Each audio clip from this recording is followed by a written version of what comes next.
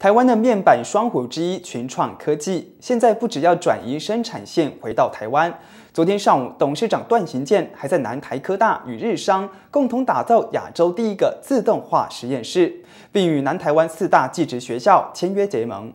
请接彩。台南市长赖清德和群创董事长段行健共同剪彩，见证亚洲第一个面板自动化实验室启用。替台湾的创造。呃，更多的这个就业机会。那在创造这个就业机会的同时呢，是要把我们的生产的这个技术要把它这个提升。很重要的是要把学校、老师、学生带到产业里来看，让学校的老师、学生对台湾的产业是有信心。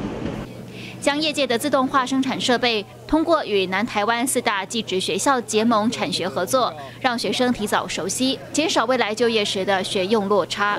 就学到非常多的电路方面的设计，以及 debug，那还有一些软体的撰写开发。对，那这跟学校不一样的是，因为学校都是往理论方面的钻研，那来公司才发现说，实物要怎么跟理论做结合，产学的合作呢？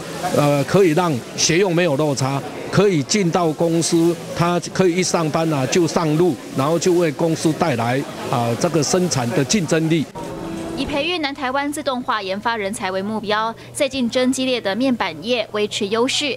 企业家希望透过落实人才培育，打造台湾第一个光电聚落，创造兆元产值。